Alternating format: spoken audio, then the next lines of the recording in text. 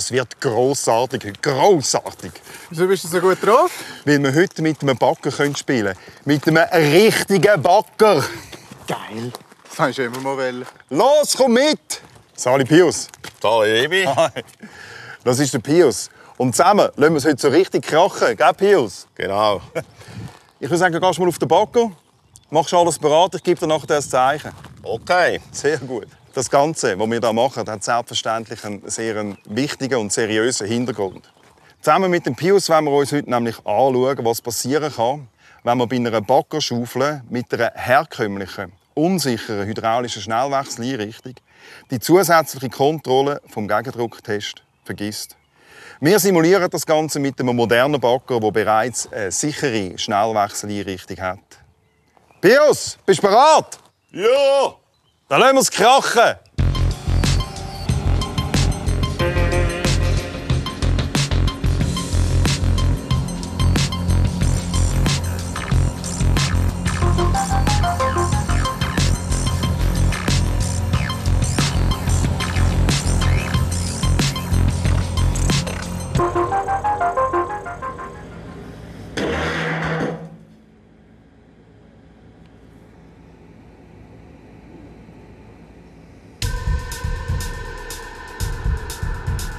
Schau dir das mal an.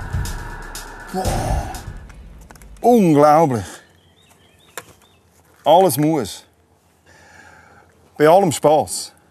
Aber ich glaube, das ist extrem eindrücklich, das zeigt, wie gefährlich das es sein kann, wenn äh, bei einer Backerschaufel den Gegendrucktest vergisst. Das ist ganz verrückt, was hier passiert ist. Das hat Uhren geknallt. Darf man das noch mal anschauen? Basti, ist das möglich?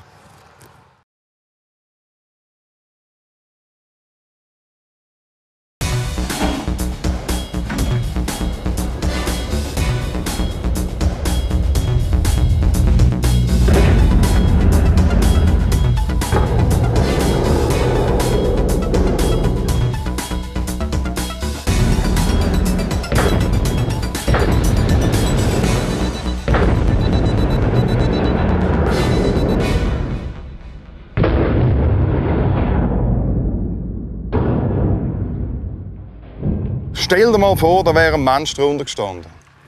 Warum macht nicht jeder Baggerführer den Gegendrucktest?